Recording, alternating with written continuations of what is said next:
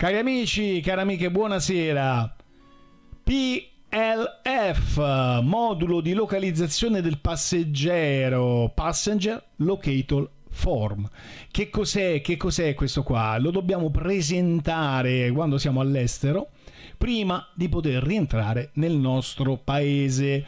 Molti non lo sanno, molti possono trovarsi in situazioni non simpatiche e per questo ho deciso di portare a conoscenza de- delle persone di questo modulo che va assolutamente compilato e presentato al check-in all'estero prima di poter rientrare. Come leggiamo dal sito salute.gov.it nel portale troverete appunto questo, questo modulo.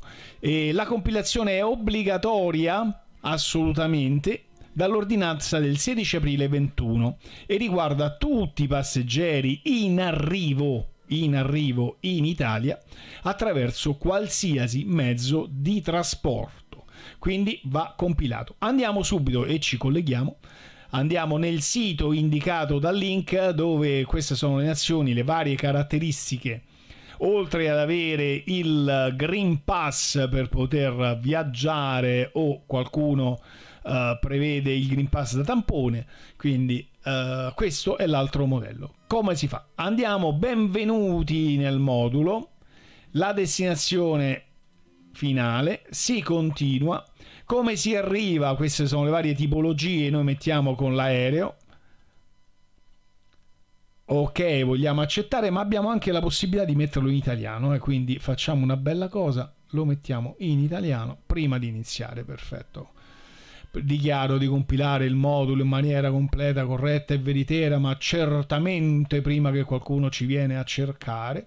Abbiamo letto l'informativa, ma certamente.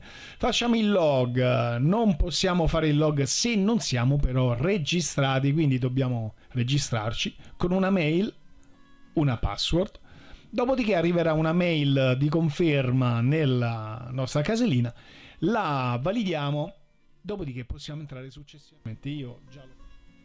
Allora, io ho fatto la log precedentemente, quindi non ho fatto altro che inserire la mia user, la mia password e entrato dentro. Prima di iniziare si dichiara che la compilazione viene fatta in maniera veritiera, si va avanti e si inserisce le tipologie del volo, se è un volo diretto, un volo indiretto, il nome della compagnia, per esempio, facciamo un gioco, sognare se abbiamo magari un jet privato lo segniamo, numero del volo magari, numero del posto pilota, i paesi visitati precedentemente, cioè dove siamo stati. Se siamo stati, qui dice, se nei 14 giorni precedenti tu arriva hai soggiornato in un paese non di transito diverso da quello indicato come indirizzo permanente, quindi diciamo diverso dal, dall'Italia se siete residenti in Italia, dichiaralo qui, indicando il paese di provenienza. Facciamo un esempio, ipotizziamo che siamo andati ah, che dire, in Aruba, Aruba, perfetto. E siamo partiti, siamo partiti dal, dall'angolo, dai, dall'angolo.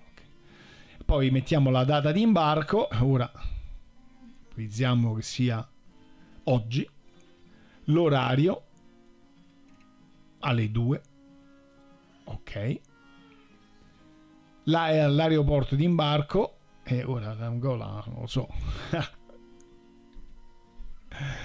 non so che dire. La data dell'arrivo facciamo, ci mette due giorni, dai, era tantissimo, ci mette tanto. Ok. E la destinazione finale mettiamo Alghero, dai, andiamo, andiamo Alghero. Continuiamo. Le varie informazioni personali. Per esempio,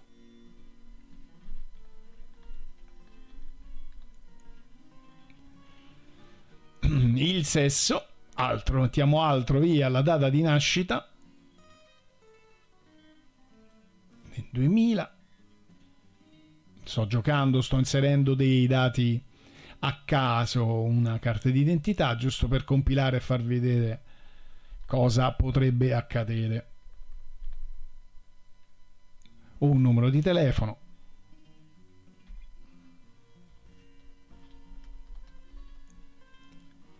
Un altro numero. Vabbè, questo togliamo la nostra mail e andiamo avanti. Gli indirizzi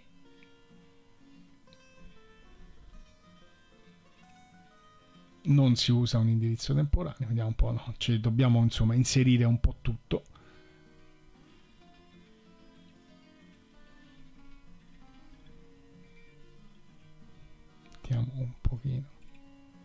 Sto, sto inserendo qualsiasi cosa giusto per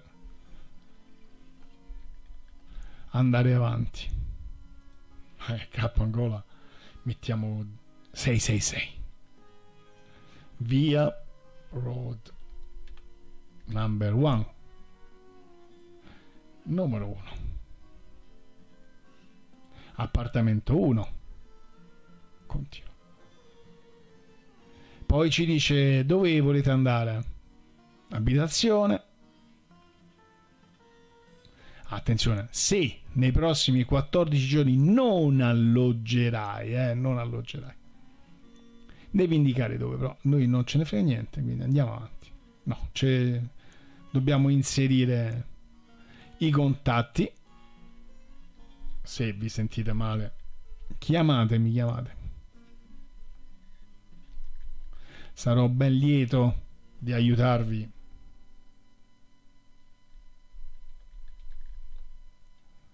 Inizio Chanel. Paese. diciamo tutti i campi opzionali. Opzionali. Continuiamo. La dichiarazione. Dichiaro sotto la mia responsabilità. No, non ho minori, non ho minori. Se avete dei figli minori dovete compilare anche questo. In questo caso non ce l'ho. Ok, va bene ha inviato, grazie per aver inviato una mail di conferma il modo inviato del tuo documento. Per favore porta il documento PLF con te quando viaggi in formato elettronico o cartaceo. Vediamo un attimino se riesco ad averlo nell'account, così magari lo tolgo, essendo un po' diciamo con dati che lasciano il tempo che trovano. Eccolo qui, lo vediamo qui, è stato creato Vizio Channel il documento, la data d'arrivo, la tipologia, il paese. Vediamo le azioni, vediamo lo vediamo, eccolo qua. Questo qua lo possiamo scaricare in formato PDF, PDF scusate. Questo è il codice QR. Dopodiché lo presentiamo. Ragazzi, senza questo non, non vi fanno partire, eh, quindi lo dovete assolutamente, assolutamente fare.